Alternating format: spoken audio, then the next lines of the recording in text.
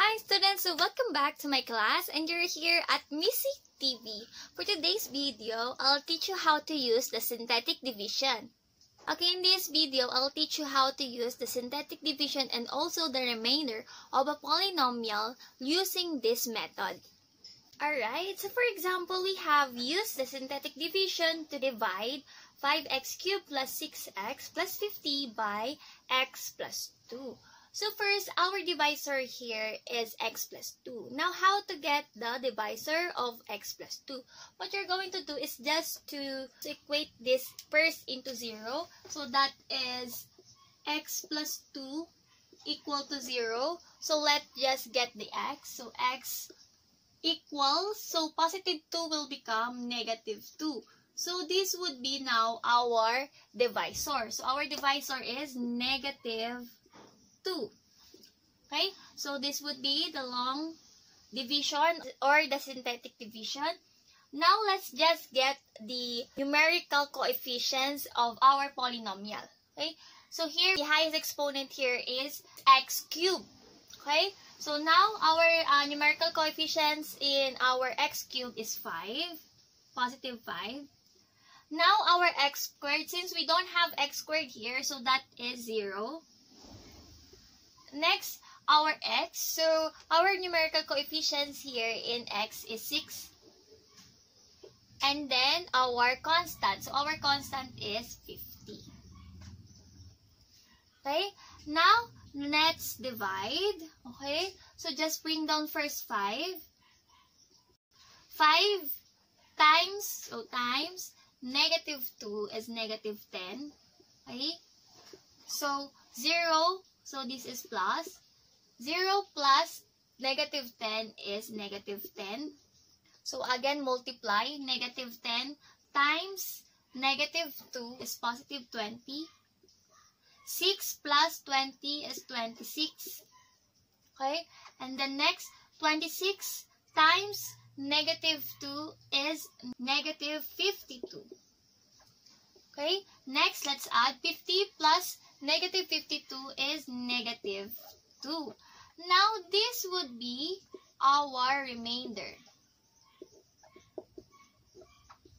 And now, our quotient is this 5, negative 10, and 26. Now, how to um how to write this into equation? So, since our highest exponent here is um, x cubed, now, in our quotient, the highest exponent would be x squared. So, since highest exponent here in the given is x cubed, so in our quotient, the highest exponent now is x squared. So, we have, so this is our quotient, 5x squared, okay, negative 10 minus x, okay, plus, so this is our constant, plus 26. So, this would be our quotient. Okay? Thus, together with the remainder, so this now will be our um our equation. So that would be 5x squared, okay, minus 10x plus 26.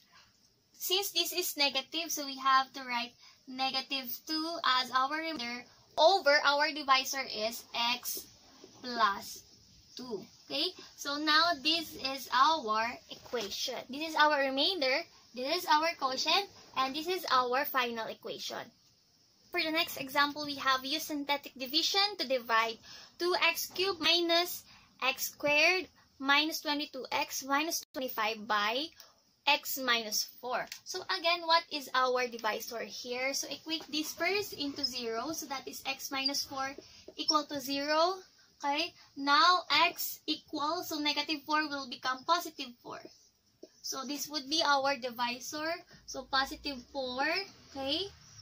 Next, let's just get the, um, the, the numerical coefficient. So, since the highest exponent here is x cubed, so let's get the numerical coefficient of this. So, this is 2.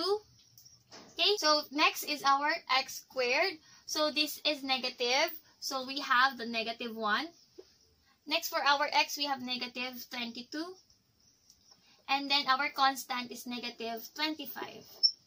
Okay, let's divide. Alright? So again, bring down 2. 2 times 4, so again times, 2 times 4 is 8. So positive 8.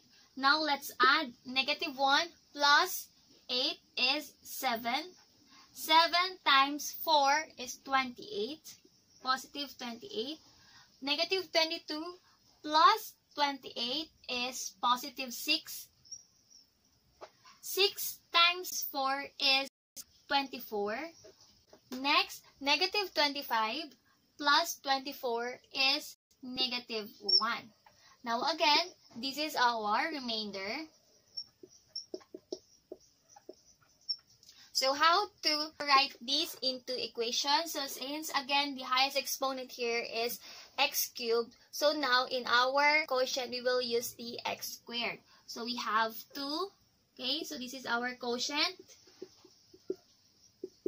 2x squared.